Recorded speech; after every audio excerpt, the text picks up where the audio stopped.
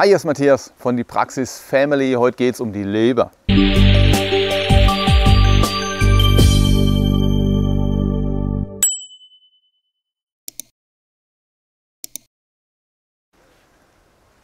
Ja, die Leber ist eines der wichtigsten Organe, das wir im Körper haben. Die Leber ist unglaublich wichtig für den kompletten Proteinstoffwechsel, für den Hormonstoffwechsel, für das Entwickeln von Enzymen, überhaupt für die Entgiftung, den Umbau von, von Stoffen aus dem Körper von A nach B. Ohne die Leber ist ein Leben nicht möglich und wir sollten auf sie sehr gut aufpassen. Umso schlimmer, dass ganz viele Menschen mittlerweile, immer mehr Menschen aus der Bevölkerung entwickeln die sogenannte nicht-alkoholische Fettleber. Es sind mittlerweile 35 Prozent der westlichen Bevölkerung davon betroffen.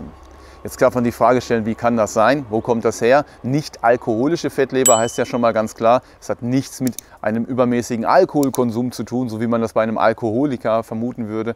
Ja, die Leberwerte, wenn man sich die anschaut, da rümpft der Arzt dann auf die Nase und sagt, hm, haben Sie ein Gläschen zu viel getrunken? Das ist oft nicht der Fall. Viele der Menschen, die diese nicht alkoholische Fettleber haben, trinken überhaupt keinen Alkohol.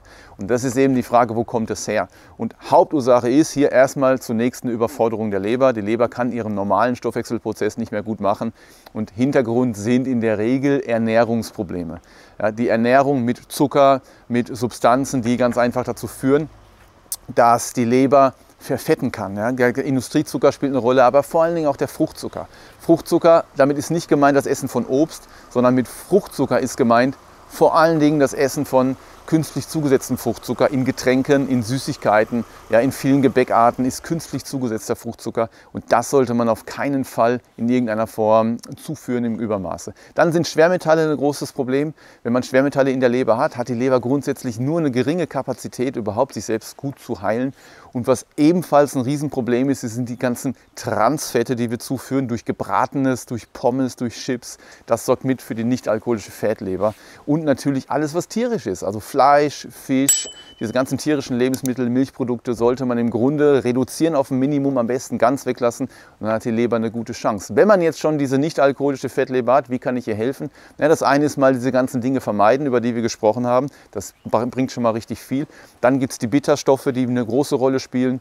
Mariendistel spielt eine große Rolle. Aber auch Antioxidantien sollte man hier zuführen. Entgiftung sollte man machen. Im Grunde macht es natürlich Sinn, das alles einzeln auszutesten und genau rauszufinden, was braucht man. Das machen wir mit dem Praxis Family System. Da werden wir genau zeigen und erklären, wie man das Ganze austesten kann. Wenn du da mehr wissen willst, wir haben einen Link hier unten, da kannst du dich anmelden in unserer Akademie und kannst alles darüber herausfinden. Liebe Grüße, ciao der Matthias.